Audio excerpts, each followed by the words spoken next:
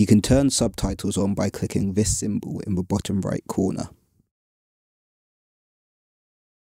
By clicking the cog next to this, you can also adjust the playback speed to make the speech whatever speed you feel comfortable listening to.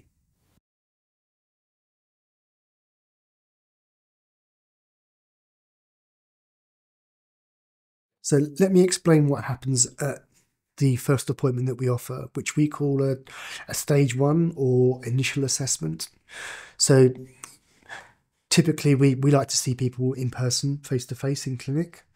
Um, although we can offer to do those assessments remotely over a video call, but it's nice to meet people in person.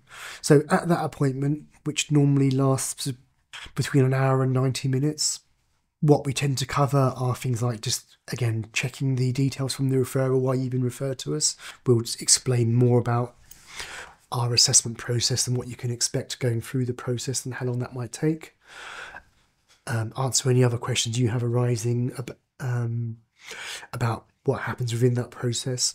But we also like to find out more about your current situation um, if you've got any particular concerns or support needs at the moment which might not be stuff that we can deal with as a service, but we can try and give you advice about other services or resources that might be out there that could be useful to you.